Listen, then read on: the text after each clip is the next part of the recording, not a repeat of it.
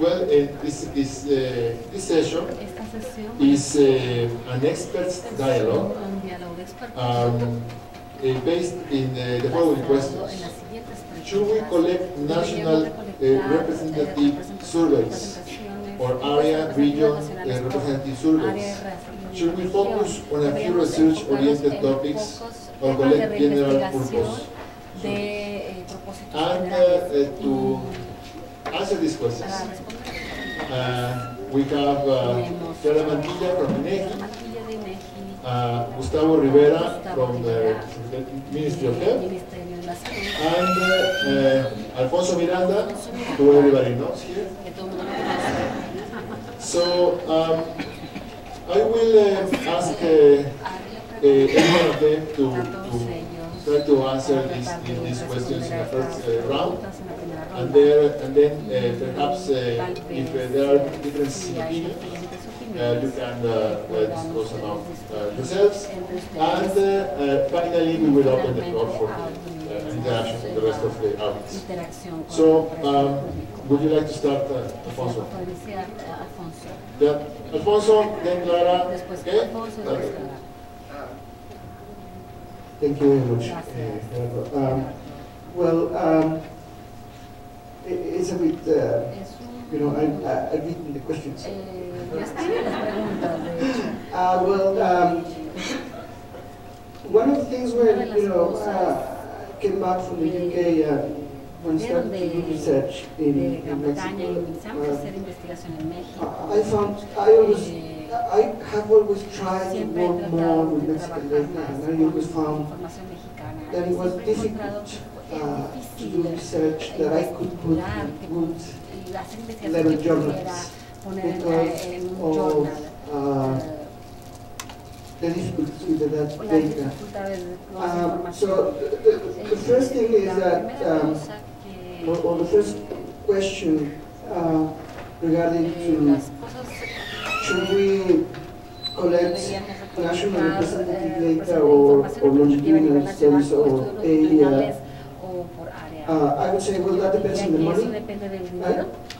Uh, I think Eh, yo creo always que when I talk to policy siempre cuando makers, hablamos a uh, los even que hacen you know, las, pol- las people in políticas, Nation, they say, yes, a lot personas of de money, INEGI dicen, we sí, don't mucho have dinero, no to tenemos do that. dinero para hacer Then I eso. say, well, Y después okay, digo, ok, let's start with eh, uh, iniciemos the con encuesta la longitudinal encuesta de longitudinal de Aguascalientes. Well, let's do Aguascalientes, something, hagamos uh, a algo, small sample on una schools, pequeña uh, muestra so en that the las money escuelas becomes para que la- less el of an dinero issue. sea un because instead problema of menor en asking vez for, de, de pedir, I don't know, eh, no 20 sé, millions, 20 you know, millones. that, that's eh, something that could be done es with, algo que, uh, you know, less than a million, that is eh, exactly puede what costar it menos de un costs millón, exactamente lo que any of costaría the cualquiera de cross-sectional los surveys estudios that uh, transversales have been que collected. se han So, recolectado. and Eh, also, también uh, so what I'm eh, saying is porque that lo que estoy dici- tratando de uh, decir we es can make que podemos advance hacer eh, progresos uh, without eh, sin having to go for tener the que huge uh, ir por longitudinal eh, survey. estudios eh, longitudinales that muy cost a lot grandes of money. que cuestan mucho trabajo, Ah, mucho dinero. That's on one side. On the other side, Por el otro lado, sometimes, a and uh, veces, there were a few ah, questions, hay pocas preguntas uh, it's also important to y have también es surveys that tener are encuestas que uh, representative of que the sean smaller areas, representativas de because we áreas want más to pequeñas, answer porque questions of the queremos smaller pregun- eh, areas. responder a preguntas de áreas Uh, pequeñas. so it's not the Así same, que no es lo mismo the reality la in the south realidad of Mexico del and sur the de reality México, in the de la north of que está en el Mexico and norte the de reality México, of la realidad del, uh, here in the center. aquí en el centro. Sometimes we, Y a I would veces say yo in the diría past, que en el most of the pasado, data collection la has mayor been parte de la colección driven de la información uh, eh, without se ha really llevado a cabo a research-oriented una questions, orientación but, o preguntas uh, orientadas a la maybe investigación tal we vez just pretend to tabulate the pretendemos data and eh, get tabular la descriptive statistics. información y crear estadísticas And uh, they are not designed with an eye of a con el research ojo de la uh, investigación question uh, to be answered. And I think that has to change. Y eso tiene que cambiar I think in the Yo future, creo que you en el know, futuro researchers la will teach. investigación At the end of the day, al final del will be día the final users será have to para get los more involved usuarios on finales the y que tienen que design design of the involucrarse question. aún más con el I'm diseño de gonna las leave it preguntas. there Así because que I voy a think I dejar have aquí said a porque lot. creo que he dicho suficiente. Alfonso, uh, uh, before turning to Antes de que pases a Clara, Clara. So you're, bas- you're basically saying Básicamente it's a matter of es una cuestión having money, and tener if you have dinero, enough money, si then, dinero, entonces uh, the problem is, is, uh, is solved. Is, is that your point? No, ¿Ese es tu no, no, No, no, no, no, no, not at all. My point is that, because my point is that there are two Es que hay main, um, eh, when I talk about longitudinal states in Mexico, there are two main points that they say. puntos eh, principales One is dicen, uh, where I'm gonna get the money, ¿Dónde no? voy a sacar el So it's dinero? very expensive. porque es muy caro. So what I'm saying is that it's not true. Es We que no es can cierto, do se puede things that are hacer not that cosas que no expensive. son tan So it's more kind caras. of, uh, a- Es, more es más una an issue of cuestión a de, will de una an issue voluntad of expense. y de un gasto. So if we see Y the, vemos utility la utilidad de tener un estudio longitudinal, eh, lo podemos hacer, 1,000 por ejemplo, con 2.000 Okay. individuos. So, uh, Clara, Así que, claro, eh, es eh, tener el dinero having y the, tener uh, el deseo budget and the will, suficiente para llevar a cabo eh, una encuesta longitudinal survey, o con tu experiencia que es amplísima, haciendo muchas encuestas iniciales en el INEGI, uh, Este, ¿crees que hace falta algo más? Yo, creo que sí, hacen falta muchas cosas, ¿no? Primero, eh, Para, bueno, a lo largo de estos dos días de trabajo hemos visto lo importante que es esa encuesta longitudinal, la importancia que son los datos longitudinales, pero el asunto es que primero para decidir, definir si hacemos una encuesta longitudinal, tenemos que tener muy claro el objetivo. Tenemos que tener muy claro el uso que se le va a dar la información. Porque siempre hablamos de que son caras, o sea, son costosas, pero es lo que vale. ¿Qué nos provee una encuesta longitudinal? Los indicadores mucho más precisos, y esos cuestan. Entonces, yo creo que, que cuando hablamos de que son caras, bueno, más bien decimos, eh, eso es lo que cuesta, pues obtener ese tipo de indicadores es lo que cuesta.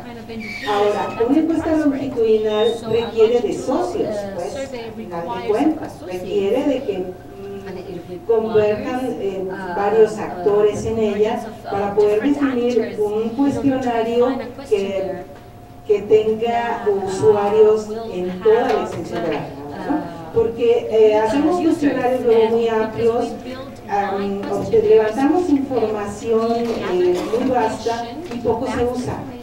¿sí? Ese es otro de los grandes problemas, que tenemos mucha información y eh, con pocos usuarios. ¿no? Yo creo que en México tenemos una excelente experiencia con la ENACEM y eh, Rebeca ayer decía, bueno, para, para hacer una encuesta necesitamos convencer, necesitamos mostrar la utilidad y necesitamos encontrar quien haga el financiamiento. ¿no? La ENACEM es un ejemplo claro porque la ENACEM, eh, vamos por el cuarto levantamiento, pero los tres anteriores han sido con financiamiento externo. Sí, en este último, este último levantamiento ya trae un cofinanciamiento del INEGI. Pero esto, bueno, tuvo que ser eh, programado con anticipación, llevamos dos años de negociación para poner la parte eh, que le tocaba al INEGI o con, con la que el INEGI se responsabiliza. Después de tres levantamientos, después de ver la utilidad del dato. ¿sí? Entonces, eh, no es solamente un problema de recursos, es eh, algo mucho más complejo. ¿no? Gracias, Clara. Eh, siempre para co- co- complementar lo que has eh, mencionado, eh, en la mayor parte de las encuestas que tú eh, coordinas en el, en el INEGI, los recursos vienen de fuera, otras instituciones. Eh, ¿Cómo crees que podríamos hacer para eh, obtener eh, recursos que atendieran a problemas específicos reales que están allá afuera, que no, es un- que no se trata de, de generar una encuesta por generar una encuesta, porque nos interesa académicamente trabajar con eso, sino dónde o cómo podemos hacer para encontrar el cliente adecuado que le encuentre valor a una encuesta longitudinal sobre algún tema específico y que esté dispuesto a ponerle dinero para que tenga un un poquito retomando la experiencia no solo de las encuestas longitudinales, sino de las transversales. El caso, um, Julieta mencionaba ayer la ENADIT, tenemos el caso de la ENDIRE, que es la encuesta de violencia contra las mujeres, o la encuesta de uso del tiempo. Estas encuestas se han levantado con financiamiento externo y bueno, y lo que se hace normalmente son grupos de usuarios. Grupos de usuarios que trabaja la academia, trabaja eh, la institución, en este caso puede ser el mujeres, por ejemplo con uso del tiempo y con violencia, o con APO, con la ENADIT, son los grupos que trabajan eh, colegiadamente para realizar cuestionarios, para armar tabulaciones, para armar criterios de validación y en función de ellos presentar un proyecto. ¿Sí? Porque, eh, bueno, cuando empezamos a trabajar una encuesta, no es solamente el cuestionario, ¿sí? Hay que pensar ese cuestionario, ¿qué me va a dar? ¿Qué voy a tabular? ¿Cómo la voy a explotar? ¿Sí? Y también, bueno, ¿cómo la voy a validar en el proceso? ¿Sí? Para poder eh, saber realmente cuánto me va a costar, qué me va a salir y cada quien qué va a aportar. ¿Sí? Entonces, con estos grupos de usuarios es cuando convergen qué es lo que yo necesito de la encuesta, qué es lo que yo le voy a pedir a la encuesta y qué estoy dispuesto a aportar para ella. Entonces, todas estas encuestas que vienen con financiamiento externo, eh, lo que traen son grupos colegiados que trabajan uno o dos años o hasta tres años en el proyecto. ¿sí? O sea, no son proyectos que salgan, digamos, de la noche a la mañana, son proyectos a largo plazo que, se trabajan para poder eh, tener éxito en la encuesta. Gracias. Uh, ok, um, con, con, Gustavo. Entonces, eh, ¿qué piensas? ¿Es el es el dinero lo que va primero, son las preguntas que va primero, es eh, ¿dónde, encontramos al, cliente adecuado para que podamos echar a andar esto y favorezcamos este, una mayor cultura de, uso de estas encuestas que genere una demanda por el tipo de el tema económico es muy importante, efectivamente son encuestas sumamente caras. Y además son encuestas que, si son bien utilizadas, pueden aportar información relevante eh, sí en el corto plazo, pero sobre todo en y largo plazo. Yo creo que también es un elemento muy importante porque esto muestra eh, la generación de datos duros de utilidad para responder preguntas de investigación, pero sobre todo, y bien un poco se hace me, desenvuelvo, pero sobre todo para responder preguntas de política pública, porque es uno, de los elementos muy importantes. Si bien son económicas, creo que el costo-beneficio de muchas de estas encuestas es, o sea, eh, sería un elemento que favorecía la inversión de recursos para llevar a cabo este tipo de estudios. Pero en la medida en que no damos ese tipo de ejercicios, eh, de cuál es el, costo-beneficio de llevar a cabo este tipo de encuestas, evidentemente se puede sensibilizar a los tomadores de decisiones y a los financiadores para que puedan apostar recursos en, en, esas encuestas. ¿no? Te pongo un ejemplo, en salud es uno de los eh, sectores los cuales ha levantado mucha información, o información relativamente eh, con, una presión relativamente frecuente. ¿no? Tenemos las en salud, tenemos encuestas eh, de satisfacción, eh, los grupos académicos en diferentes instituciones también levantan encuestas con financiamiento externo. Eh, ¿Y por qué no hacemos una pregunta de por qué no levantar una encuesta longitudinal, multitemática, que aborde los diferentes temas que se vienen recuperando en este tipo de, encuestas y ver si una encuesta longitudinal sea la respuesta para poder aportar mejor evidencia, mejor información en el tiempo y que responda a todas las inquietudes de todos estos grupos de, investigadores. Pero insisto, sobre todo, esta, eh, el diseño de estas encuestas respondan a preguntas de política pública muy concretas para que tengan una utilidad eh, práctica. ¿no? no dudo que la investigación es muy importante, yo en parte he formado como, como investigador este, en, este, este, en, esta área. ¿no? Pero ahora desde la cancha del sector público sí veo que una necesidad muy, muy importante de mostrar ese tipo de encuestas, ese tipo de información es de utilidad para responder preguntas de política pública muy concretas. ¿Cuáles son esas preguntas? Bueno, creo que justamente eh, tendré que conformarse grupos de trabajo en los cuales, tanto la academia como los servidores públicos, eh, también o identifiquen cuáles son las áreas en las cuales estén, o los tópicos en los cuales tengan que enfocar las diferentes encuestas. ¿no? Entonces yo creo que el tema del recurso es importante, pero creo que el tema del recurso podrá pasar a segundo término si se muestra la utilidad, la relevancia y el costo-beneficio de este tipo de, de Gracias. Seems, uh, Alfonso, that uh, the, the answer to the question we have here uh, is something that uh, should come out from uh, the demand of uh, someone interested in. That uh, institution, that organization, that client may uh, have a problem to solve with specific needs in terms of the thematics, in terms of the regional reach of the survey, and then that will, I think that we solve the, the, the question we have. So it seems it's not us uh, who are uh, in charge of solving these questions, of answering these questions, but it, it, it, it is a, the, the emerging uh, thing that is coming out from this discussion is that uh, perhaps we should uh, uh, start uh, uh, some specific efforts to educate the, the, potential clients to, to see the, the, the, value underneath these kind of instruments. So, uh, how would you like to proceed to, to, to, to start a campaign for educating these potential?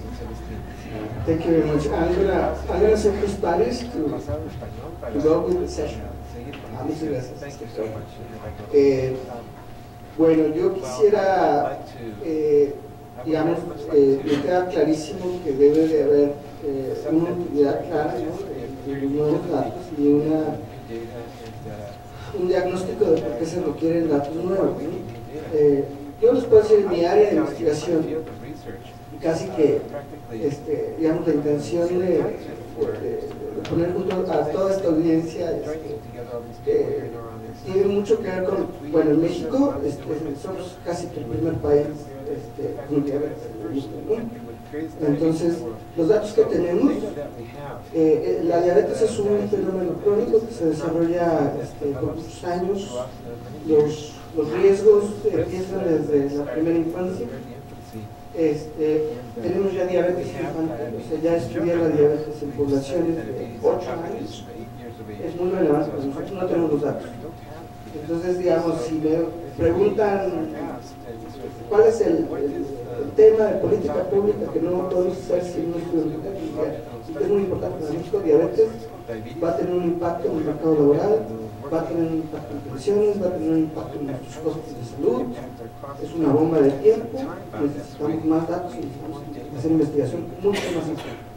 Otro tema que es fundamental es eh, tenemos un sistema educativo de mala calidad, todos sabemos, pero eh, necesitamos, eh, digamos, entender cómo son esos procesos, cómo se están creando los ciudadanos mexicanos en muchas dimensiones ¿no? que tienen que ver con sus habilidades cognitivas, si aprenden o cómo les enseñan, si se van cómo van transitando, ¿no?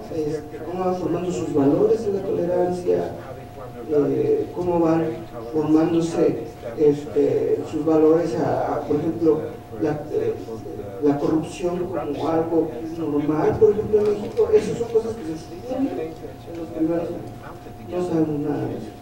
Eh, y bueno, hay, muchos temas que creo que son realmente de política relevante ¿no? en nuestro país, para los que verdaderamente solo tenemos datos que actualmente tenemos apenas podemos rasguñar, digamos, este, eh, la temática. Y para ir a fondo, y para poder poner en puerta políticas que realmente traten de atacar los problemas, necesitamos tener datos de- no, no, no solamente muchos datos, sino datos de primer orden. Voy a tu pregunta, este, Gerardo. Eh, ¿Cómo lo vamos a hacer? Yo pienso que efectivamente la academia tenemos un rol en demandar los datos, ¿no? Eh, porque efectivamente hay muchos datos y nadie los usa. Ahora, también deben ustedes tomar en cuenta que el sector académico de este país son 500 personas. O sea, son 32 universidades, no sé cuántos institutos. O sea, a ver, si me hablan de usos, ¿qué, o sea, qué cantidad de usos ustedes, o sea, o sea, primero vamos pensando de qué tamaño es el sector económico, porque también hay un tema de que hace falta inversión para que haya demanda. Ah, Entonces, tampoco, entonces, pues, no podemos caer en, en argumentos que van a terminar en ciclos viciosos, cuando no los usa porque no hay, hay que ir avanzando poco a poco, por todos lados. Yo creo que la academia tiene ese papel de ponernos juntos y hacer un diagnóstico de la realidad y qué es lo que necesitamos para avanzar ¿no? en los temas que le hacen falta. Clara, eh, para seguir con la conversación, parece que Alfonso no está muy convencido de que eh, el argumento de que hay información que no se usa es suficiente como para decir que no podemos hacer más. Este, yo creo que es un argumento en el cual yo estaría par- parcialmente este, de acuerdo, pero algo que se deriva de esto es, eh, eh, es posible que si lugar de hacer ciertas cosas que hacemos ahora, invirtiéramos parte de nuestros recursos en hacer tal vez abordar temas similares, mismos temas, pero con una perspectiva longitudinal, pudiéramos eh, tal vez eh, tener incluso más usuarios para la información que puede ser más pertinente. Digamos, este, quisiera una reflexión tuya en ese sentido. Y también eh, eh, hablábamos acerca de cómo obtener este, clientes, ¿no? ¿Quién te demande esto? Eh, pero también hacia adentro, por ejemplo, de, de una organización como el MEGI, donde estamos acostumbrados a hacer encuestas que usualmente no son de esta naturaleza, aunque tú tienes dos experiencias, al menos este, con la retrospectiva y con el envejecimiento, que sí este, eh, eh, cuentan como, como hemos visto en estas sesiones, este, eh, encuestas de carácter longitudinal. Este, ¿Qué tipo de, de modificaciones culturales requerimos al interior de, quienes nos encargamos hacer eh, las, eh, este tipo de ejercicios para que nos vayamos acostumbrando a, y se nos facilite, digamos, el ofrecerle también a los, a los eh, usuarios externos este, eh, alternativas de información de corte longitudinal. Bueno, eh, pues sí, eh, en principio, eh, uh, como, como bien uh, señalas, as eh, creo que tenemos experiencia en el levantamiento de uh, regarding uh, Además, creo que nos ha ido muy bien. Ya la doctora ayer- Uh, muchas cosas y uh, bueno, hoy venimos en la nube, Entonces, eh, creo que hemos hecho un buen trabajo con, el ASEM. La EDER, a pesar de que the no me tocó en esta if, uh, última también, con el Colegio de in la this last Frontera, one se ha trabajado muy bien. Uh. Eh, en cuanto uh, a, a- um, a trabajar en encuestas longitudinales, longitudinal- pues yo creo que pues, lo um, consideramos que es pertinente en algunos as, aspectos, ¿no? Eh, Julieta ayer mencionaba algo que a mí me parece bien importante, el recambio de las encuestas, la revisión de las encuestas. ¿no? Ella mencionaba Lenadi, every bueno, que es usuaria because de she's Lenadi a, desde hace tiempo, la conoce, sabe que es una encuesta que tiene que cambiar, pero para que una encuesta cambie, pues no es nada más una decisión de un día para otro. ¿no? O sea, es algo que tiene que iniciarse. Si estamos pensando en levantar Thinking en el of, um, 18, uh, pues ya Lenadit no se, nos está 2018, haciendo tarde para trabajar already el nuevo cuestionario on the Sí, las nuevas questionnaire. bueno, And the porque no podemos perder comparabilidad, tenemos que dar respuesta a situaciones como las que dice Alfonso.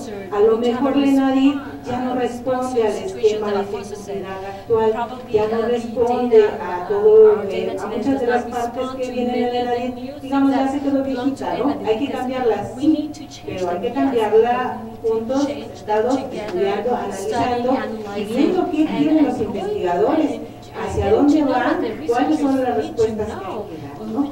Eso otra vez volvemos al punto de inicio that's necesitamos uh, trabajar en grupos, con in con la, en el caso de Lenadit, pues que se uh, trabaja normalmente con el Colegio de México, con el CONAPO, con el Instituto de Migración, con ellos, volver a replantearnos. Pero esto se tiene que hacer no una semana antes de empezar la O sea, necesitamos sentarnos Uh, dos años antes a replantear years Y entonces to podemos caminar a decir, bueno, hay que modificar, hay que cambiar y replantearnos si una encuesta puede, puede en lugar de ser transversal, pasar a ser longitudinal, ¿no? Se mencionaba uh, la misma a Julieta a la Nacional de Hogares, ¿no? Y decía, bueno, ¿por qué la Nacional de Hogares la hicieron transversal y no longitudinal? yo creo que and es una, una un punto que nos llevamos a, discusión al interior del INEGI para quien, para quien diseñó la encuesta nacional de hogares y, que se valore, pues, pero estos seminarios precisamente creo que para eso son, creo que son los puntos de acuerdo y la verdad nosotros, por lo menos de- del equipo que viene del INEGI, nos sentimos muy congratulados de estar aquí porque estamos escuchando a la academia, estamos escuchando a investigadores, estamos escuchando experiencias de otros países y eso pues nos retroalimenta, ¿no? Pero desde mi experiencia creo que sí puede pasar una encuesta que ahorita es transversal, puede pasar a ser algo longitudinal para la respuesta, pero necesitamos trabajo, necesitamos trabajarlo a largo plazo, ¿sí? Porque bueno, eh, Rebeca también lo mencionaba, cuando me voy a lanzar con una encuesta longitudinal, por lo menos tengo que considerar que tengo financiamiento para. Porque hacer una, pues, de nada me va a servir. Entonces, por lo menos tengo que considerar que tengo el recurso para la primera y la segunda. Y seguramente la tercera se vende sola, ¿no? Como ha pasado con el NACEN. Pero si no, bueno, ahora otro, otro asunto importante es los periodos. ¿Cuánto tiempo voy a dar de seguimiento? Porque entre más largo sea el seguimiento, pues es más complicado. Cuando nosotros empezamos a trabajar en ACE en 2012, la verdad es que empezamos como por ahí del 10 y con Rebeca nos preguntábamos qué íbamos a encontrar, porque había una brecha de 9 años. O sea, teníamos un marco viejísimo, ¿no? No por los objetos de estudio, sino pero afortunadamente, eh, bueno, podemos hacer una buena labor. El personal de campo es diferente. Hay que trabajar con personal que no solamente diga, ah, me tocó esta vivienda, no, que diga, me tocó este señor y lo tengo que encontrar. ¿Sí?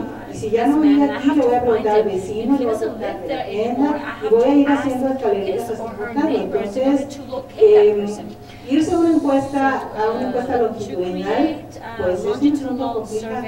Por eso es que hay que pensarlo con calma, meditarlo y ver el impacto que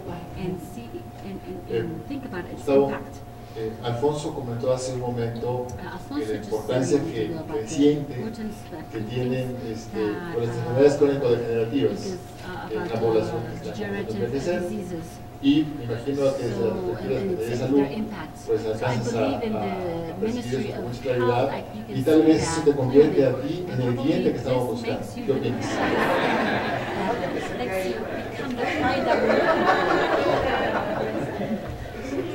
No, sin duda, todo el tema, el tema de salud de crónicos degenerativos es muy importante. Yo sí creo que ese tipo de, de encuestas ayudan mucho a entender bien la problemática, de plantear propuestas de, de política pública para solucionar, para solucionar ese tipo de problemáticas. ¿no? Eh, es, es, muy cierto que la Secretaría de Salud puede ser un cliente para esto, pero, eh, insisto, eh, para que la Secretaría de Salud, los tomadores de decisiones tengan interés en invertir recursos eh, para eh, tipos de encuestas, pero las preguntas de, de los objetivos de la encuesta, las preguntas de investigación que se contienen en la encuesta, tienen que responder inquietudes que los de decisiones tengan en ese momento. Ese no existe, difícilmente van a haber un interés real en invertir en ese tipo de practical interest in that kind of uh, studies and uh, surveys. Yo, por ejemplo, Uh, yo trabajo en un área muy técnica. Yo soy usuario de muchas de las que Muchas veces tenemos que manuales para poder responder a las preguntas have que nos to, plantean, que son distintas a las preguntas y los objetivos con los cuales se diseñó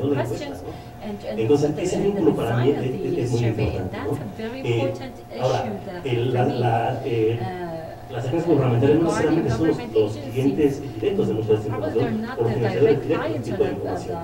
O sea, si se hace un buen diseño, un, buen eh, eh, proyecto so if we que have a se pueda tener en formato mundial, que tiene una eh, tiene financiamiento, para países en desarrollo, ¿no? Eh, si se convierte a gobierno, sea, no solamente va el investigador de la universidad, va el investigador de la universidad con el gobierno y hace frente eh, para poder complementar el, el financiamiento que se tiene que eh, aportar en este tipo de, de, de, encuesta, ¿no? Entonces, yo sí veo mucha utilidad, eh, creo que sí aporta mucho el diseño, pero sí es muy importante ¿Qué vamos a aportar con esta encuesta? ¿no?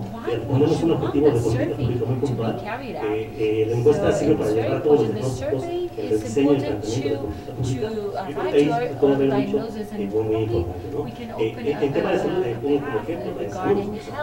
La de salud desde el 94, 98, me acuerdo, 2000, perdón, ese 2012, es el instrumento primordial que se ha venido utilizando. ¿no? Y es así que es uno de los principales instrumentos que se utilizan hoy en día para llevar a para hacer los programas and to carry out uh, health programs y para el tema de, de padecimientos regarding ¿no? uh, Pues sí, es muy importante, eh, sí, es, important es pues, nos ayuda mucho, issue pero eh, tendríamos que alinear uh, los objetivos para que todos to caminemos en un objetivo común que, que create finalmente a rinda common frutos. uh, Eh, objective. tanto en la Academia de Investigación, uh, intereses academy, particulares de grupos de, de académicos, pero have sobre todo que uh, sean a de utilidad, que para mí lo más importante al final del día es eh, que de nada sirve hacer un uh, super you don't diseño, only need to que al final del día eh, se publican, uh, su ejercicio muy bien, eh, es válido. Pero ¿qué utilidad se le da a esa but información? what's the use of that Yo information? creo que es un, un, tema que I think that's ponernos en, la agenda eh, y avanzar también en ese sentido. Sin duda, eh, algo que Uh, eh, decimos con frecuencia en el INEGI uh, es que la información con mejor calidad de los a procedimientos de diseño, uh, de recolección de and the de los datos, no se uh, usan, no used.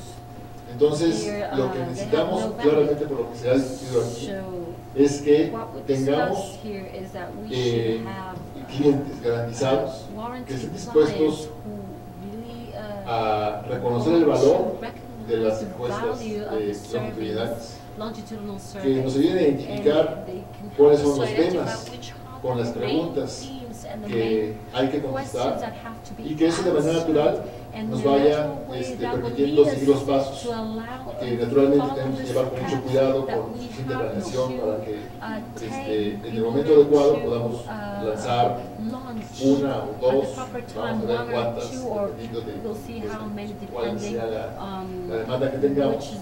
Y también eh, eh, surge aquí de la uh, discusión eh, con claridad la, la idea de que puede que eh, los eh, clientes no estén suficientemente claros de not- es por esta por la que enough, pueden resolver mejor algunas de sus preguntas. Entonces, este, eh, por supuesto. Alfonso, cuando convocas, course, tú lleva este, seminario, con esa uh, idea de ir eh, pontificando, and de ir educando. Have to Este, y creo que estamos de acuerdo con, con eso, cada que tiene oportunidad Alfonso de decir pues, es, es importante hacerlo, ¿no? Este, says lo hace. Y creo que todos, tenemos que estar haciendo algo por el estilo. Me imagino que en el auditorio ya quedan pocos minutos, entonces pasamos al auditorio. En el auditorio seguramente uh, hay eh, opiniones con distintas respuestas, preguntas que se han planteado aquí o uh, comentarios a criticaron, así que por or favor, any other comments, so, so ahí please, atrás uh, eh, la mano. el- uh, raise your hand, yes. Gracias. Eh, Thank you. español me quedo para la... Spanish, I remain uh, Ok. speaking in Um. Um, Pues en primer lugar, eh, agradecer a Alfonso y me da muchísimo gusto tener este diálogo después de las presentaciones. Y una cosa que yo veo muy positiva al respecto es que siento que nos estamos moviendo de la discusión de las encuestas longitudinales son súper difíciles y súper caras a la discusión de que las encuestas longitudinales son diferentes. Y eso me encanta. No, eh, eh, no es una cuestión. Y también que siento que a lo mejor tenemos que entender también que no que son complementarias al dato transversal y que podemos coexistir y que podemos complementarnos, ¿no? Eso me parece excelente.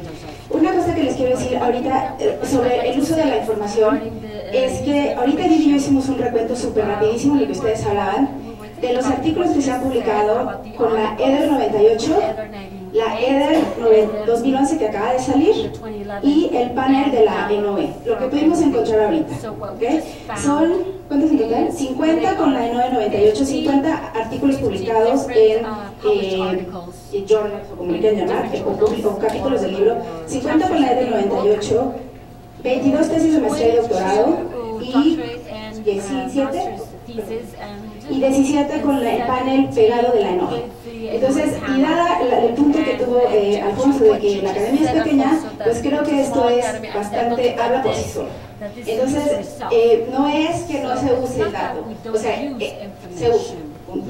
Y otra cosa que les quiero decir, hay otros fenómenos, además de la diabetes, que yo les puedo decir que requieren, entiendo la política pública, nosotros deberíamos tener un mejor lazo con, un mejor lazo con la política pública. Eh, el embarazo adolescente, como todos ustedes saben, acaba de subir. Y bueno, viene subiendo, pensando en el proceso, ¿verdad? No, lo vamos a poder explicar con dato transversal, no lo vamos a poder explicar con la siguiente NADI, ni con el NADI 2014 que acaba de salir, porque necesitamos entender cuál es el proceso durante la niñez y la adolescencia temprana que hace que esas niñas se hayan casado temprano y no vamos a saber las consecuencias de su, de su futuro si no tenemos datos de tipo longitudinal. Segunda cosa, no sé si saben que 20% de las mujeres jóvenes en México se casan antes de los 18 años. Mismo caso. Lo vamos a saber cómo llegan a ese, a ese a, tener un matrimonio infantil no sabemos qué va a pasar en el futuro. Entonces no es solamente acerca de salud y de pobreza, bueno, que está relacionado obviamente. Pero el punto es que hay muchos temas a los que podemos abordar que necesitamos de longitudinal. Eh, eh, Julieta. Supongo que mientras captaron esa información también están escuchando lo que ustedes aquí. Allá atrás, por favor, y luego este, aquí abajo. Eh, por favor, atrás. Sí, bueno, primero, muchísimas gracias por este, esa discusión. Me pareció como una operación muy agradable y completa. Eh, yo sinceramente creo que los estudios longitudinales, que nos deja esta reunión, una cosa que nos deja la experiencia venida para las personas que hemos estudiado sobre una corte, es que son, son balas hacia el futuro. Entonces no podemos saberlo todo. Creo que un excelente consejo es pensar como dice la doctora, la información se va a utilizar. Tenemos muchas en, investigación. La medicina tiene el mejor ejemplo con el helicóptero pylori, que es un o sea, una belleza dormida, de un artículo hace 40 años de un australiano que dijo, ¿no será que la gastritis es de una bacteria? Y pasados los años, cuando hacíamos modelos experimentales en, el, en, los hospitales con perros que sufrieron horriblemente con enfermedades, hallamos que al final pues, razón el australiano, ¿no? Como nunca médico. El chiste es que muchas enfermedades, sobre todo las complicadas, que son causa y efecto, como la diabetes, que cuesta mucho trabajo por días, no sabemos bien cómo enfrentarlas. Nosotros hace 20 años enfrentábamos el problema de que, de que el, tabaco a lo mejor era un problema en México, y el tabaco es un problema en todo el mundo, pero en realidad nuestro problema es la diabetes y la hipertensión, el síndrome metabólico.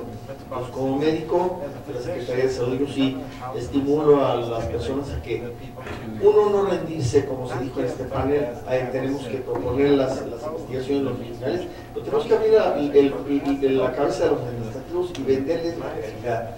Estamos vendiendo una bala plateada, estamos vendiendo algo a futuro que muchas cosas no podemos definir. Algunos de los análisis que vamos a hacer ni siquiera existen.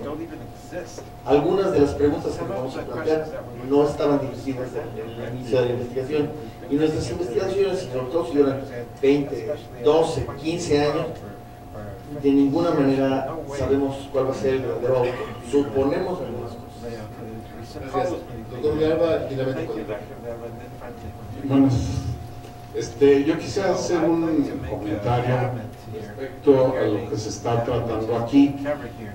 Uno de los uh, cambios que ha habido en el INEGI a raíz de, a partir de 2008, fue la autonomía, como bien saben todos.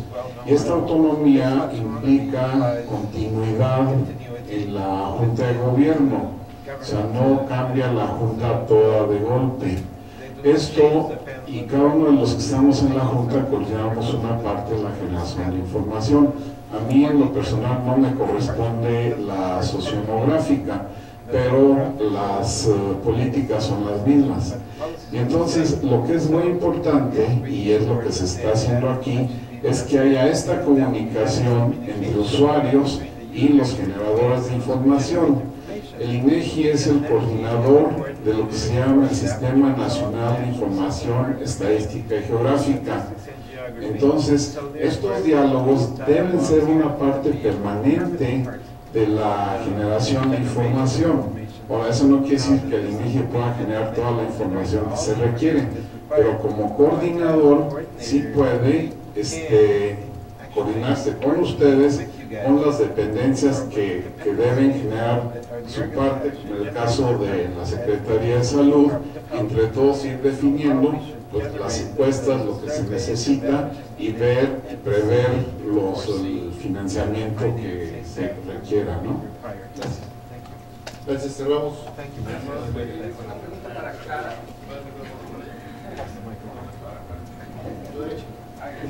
Vamos a una pregunta para Clara. Eh, digamos, en, en, tu experiencia, hablabas un poco acerca de cómo convertir cross-section en tu experiencia, ¿cuáles son los, o, digamos, cuáles serían los, los elementos, eh, algunos elementos en los cuales hay que poner atención si queremos hacer ese tránsito? Bueno, más bien lo que yo señalaba era la necesidad de revisar algunas encuestas, de revisar algunas encuestas eh, pensando en que hay em, encuestas transversales que nos pueden dar respuestas que estamos necesitando ahorita, pero que requieren una actualización. Y lo decía completamente el ENADIT, porque el ENADIT que acabamos de levantar se quedó toda una discusión, digamos, en el quintero porque no, no, la discusión no fue oportuna. Llegó, llegó tarde en la parte de, del colegio, la parte de salud, y entonces ya no fue posible. Sin embargo, esto se está retomando para poder dar respuesta. Ahora, eh, pienso que eh, en el caso de la Nacional de Hogares, que es una encuesta nueva, ¿sí? Eh, es una encuesta que puede entrar a discusión. Por la información que produce, por la información que produce, porque es una encuesta de línea del INEGI, digámoslo así, puede entrar a discusión en este asunto de si, si puede, puede, convertirse en encuesta longitudinal. Eso no lo sabemos. Eso es algo que tendría que discutirse con la academia, con los usuarios, como señalaba ahorita el doctor Garra. Hay varios comités que es impulsar la discusión para poder hacer el tránsito cuando se, cuando se requiere. La encuesta, la encuesta en hogares, eh, la nacional de hogares se pensó como una línea de información en la cual se le pudiesen colgar diferentes módulos a lo largo del año para poder dar respuesta a informaciones inmediatas, como lo que señalaba ahorita, ¿no? El embarazo adolescente, eh, algún otro asunto de salud o, o preguntas que, que, todavía no se han hecho. Esa es la intención de la Nacional de Hogares con una serie de módulos. Ahí se ha trabajado mucho con Coneval, por ejemplo, para eh, incluir módulos. ¿sí? ¿Cómo pasamos de una transversal a una longitudinal?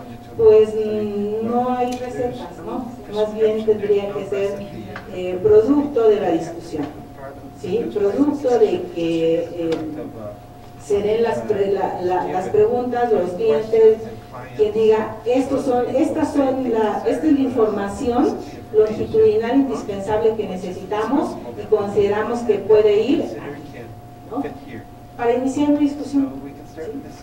no, no hay así como que el caminito ya hecho, tenemos que construirlo. Nos, eh, ya nos estamos comiendo el tiempo de la comida es una. Eh, eh, sin embargo, eh, vamos, o sea, como los conciertos de rock que ya dijeron que se fueron, luego regresan para la última canción, entonces la última canción con Guillermina Jasso, por favor, nos vamos. so much. Um, once people hear about the wonderful findings from longitudinal studies, once people hear about the wonderful findings from longitudinal studies, they'll come running. You won't, you won't need to go looking for customers or clients. Now, findings from longitudinal studies are of two kinds. The first kind is, is the kind that's relevant for policy making. The second kind is the kind that's relevant for personal behavior. It would be marvelous for a clearinghouse, perhaps even to publish on its website regularly new findings, new findings from a variety of longitudinal studies of both of these kinds of findings. Imagine if someone reads the finding that says, if I marry someone who's conscientious, I will get longer.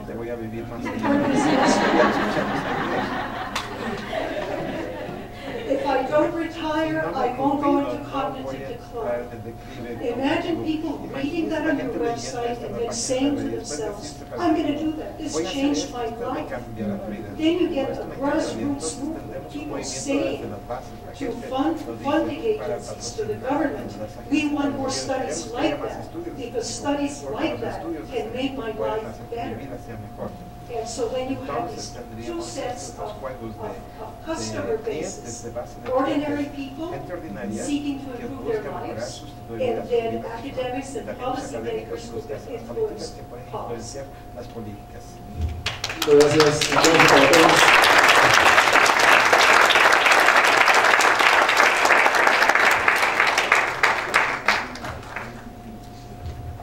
Let's go to it. Thank you. See you back. Uh, when you back.